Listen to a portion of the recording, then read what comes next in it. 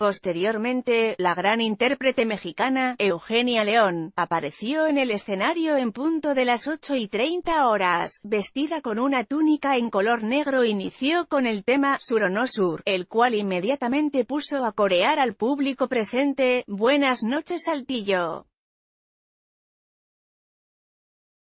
Feliz aniversario 441, expresó la ganadora del Festival OTI en 1985. Las canciones más esperadas por sus fanáticos llegaron después de más de una hora y media de concierto, El Fandango aquí y Un Mundo Raro hicieron cantar a todos los presentes y sin más palabras la noche terminó con un gran agradecimiento por parte del gobierno municipal.